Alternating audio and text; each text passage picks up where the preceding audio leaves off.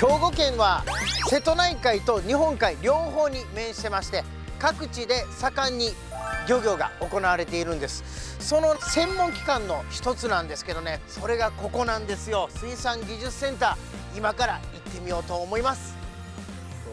あ案内いただく平井さんですね、はいそうです。よろしくお願いします。平井です。今日はよろしくお願いします。あお世話になりますお願いいたします。水産技術センターっていうのははい。どういう施設なんですか、水産資源の、まあ、持続的利用と安全安心な水産物の安定供給、はい。これを目的にですね業務を行っております。また調査研究の成果を漁業者や県民に普及する活動も行っています。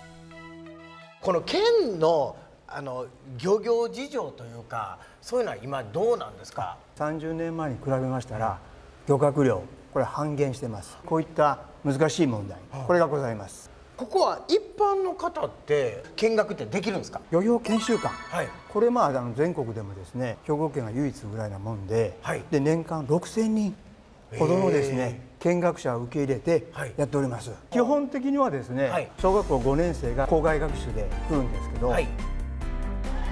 校外学習でやってきたのは西宮市立紅葉園小学校5年生の皆さん。一緒に見学させてもらいました。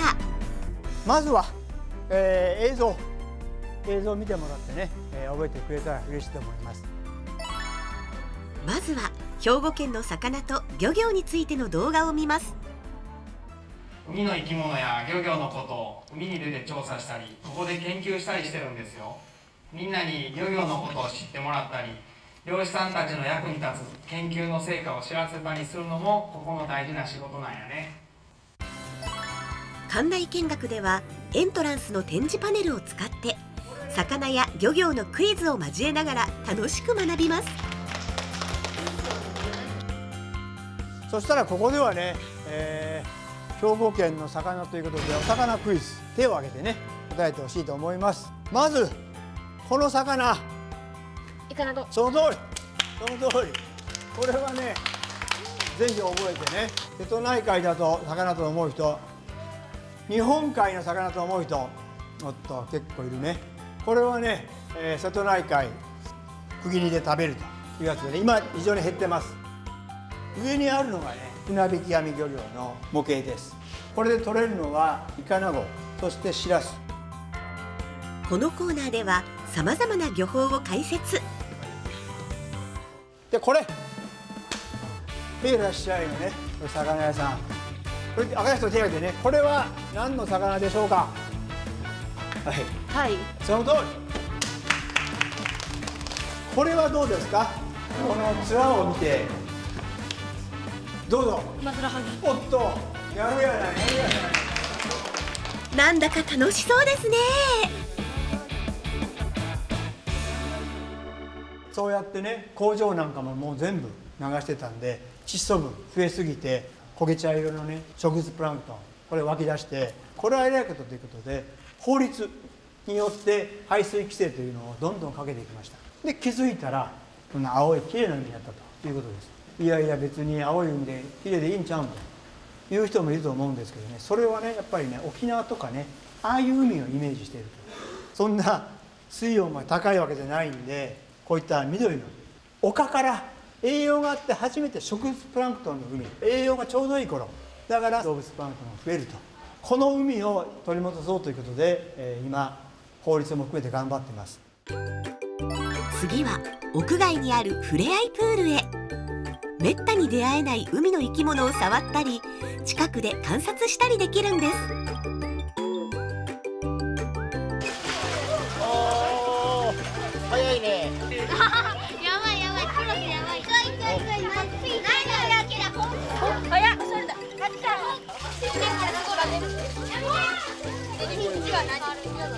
おお初めて人で触ったいや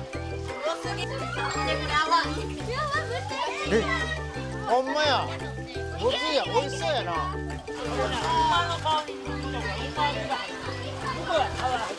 これな、お前の感じだろ、うまぐらい、覚えて帰ってる、うまぐらい。うまぐらい。あ、九線が出てきました。黒い線とかで、九線、九線。おおすごいタコタイの切りヒ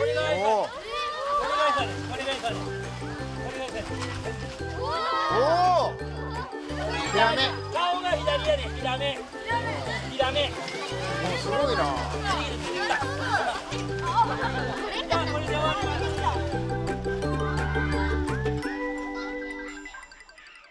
見学してどうでしたえー。なんか実物を触ったり、みあの見たりすることが、あのあったのでものすごく嬉しいです。嬉しかった。触ってみてちょっとヌメヌメしてて気持ち悪かったけどうん。面白かったです。海って青い方がなんかいいんじゃないかなってずっと思ってたんですけどそのなんかプランクトンとかがあった方が魚は増えるんだなってことが分かりました。そうなんですよ。確かに。魚食べるのにはいろんな人が関わってるからあなんか学習できてよかったな。確かにね本当どうでした？何事も経験だな。何事も経験だな深い。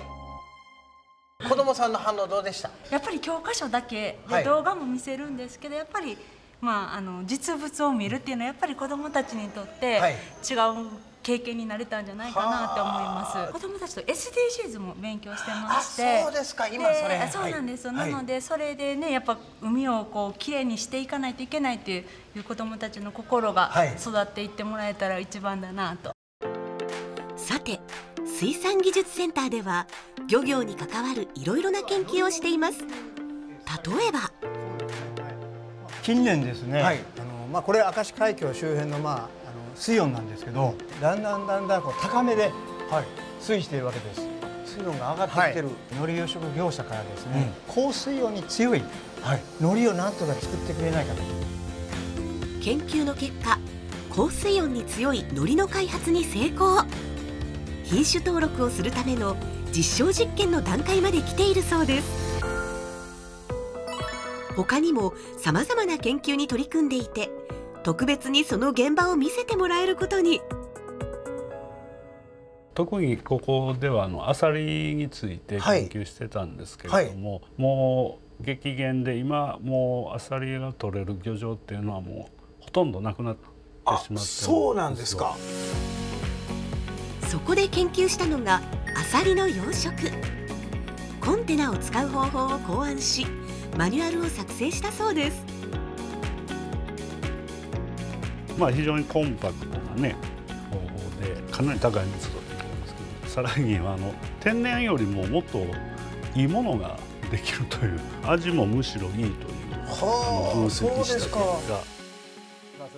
最後に訪ねたのはイカナゴの研究員そうなんです。はい。イカナゴの資源量の、えー調査研究を担当しております。資源量というのはイカナゴが今どれぐらいいてっていうものですか？はい、まさに船で調査したり、漁獲量からはい。推定したりという方法で、えー資源量を推定しております。そのどれ本当どれぐらいなんですか？えー昭和のはい。頃が、えーまあ多くて3万トン3万トン。ぐらいがピークでしたけれども、はい。それが今はもう2,000トンを下回って、もう最近は1,000トン前後と、そうなんですか、はい、それぐらいに減っております。何が原因なんですか？いろんな原因が絡み合っているんですけれども、イカナゴ自体を見ていっても、あの痩せてきていると。